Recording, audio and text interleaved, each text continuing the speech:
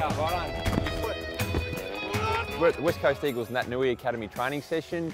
Uh, we train boys of multicultural and Indigenous backgrounds specifically.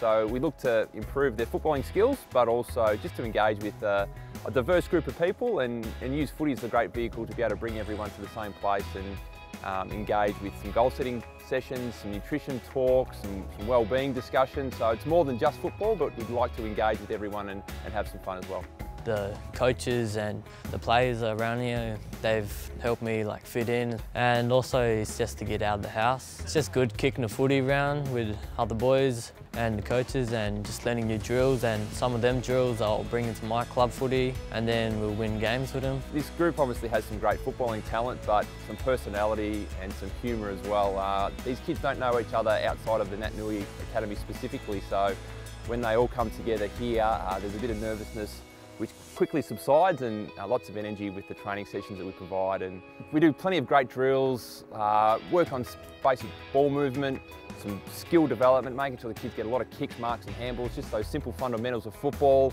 And then we also like to train them and maybe give them a few insights as to what we do at the West Coast Eagles, which might hold them in good stead when they're playing community football.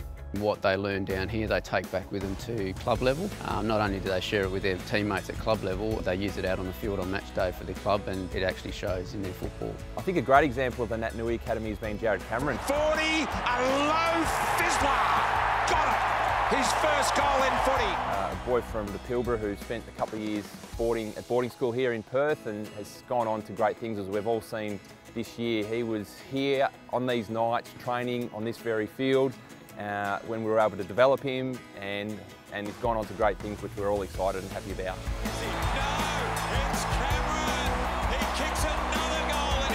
Without the support of BHP, a program like this doesn't exist. It's great that they support us in the way they do and allow us to bring so many diverse cultures into one place to train football is an outstanding thing.